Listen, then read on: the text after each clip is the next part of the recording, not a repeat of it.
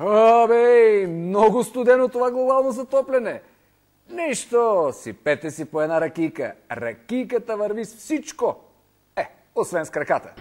Здравейте, здравей народе! Аз съм Марко Селски и ще ви представя най-актуалните магари. Тема номер едно на деня. Мега битката на титаните. Слави и Бойко.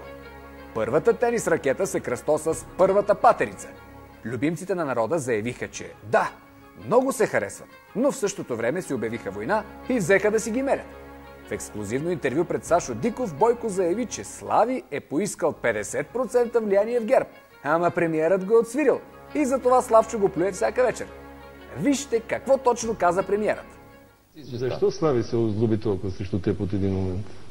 Надявам се да кажеш цялата истина. Пред уикенд каза нещо, което не, не мога да го възприема, че искал 50% от ГЕРБ. 50% влияние в ГЕРБ. Добре, 50% влияние в ГЕРБ. Само, че това майче е половината истина. Това е цялата истина. Какво значи, какво значи перед на, на Ами, в практика? смисъл, ако трябва да определиме двама министри, един да каже кой е той, а другия да каже аз. О, да, да, да, да, да. Аз обаче се чудя, защо му е на някого да притежава 50% от ГЕРБ? Е, представете ли си 50% от Сецка Цачева? И не дай си Боже да ти се падне долната половина. О, майчице! Или пък половината от Фидосова. Е, там поне няма значение дали е горната половина или долната, че те са горе-долу еднакви. Аз обаче смятам, че от Фидосова е наистина по-добре да имаш само половината. Но ако може разрезът да е по вертикала.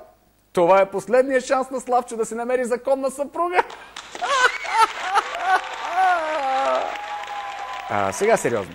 В импровизиран разговор с сценаристите си, Слави им каза да го питат. И те го попитаха. Вярно ли е това за 50%? А Слави най-изненадващо каза, не, в никакъв случай. Но понеже аз съм едно инатливо магаре, извадих няколко твърде интересни негови реплики. Нека да ги видим.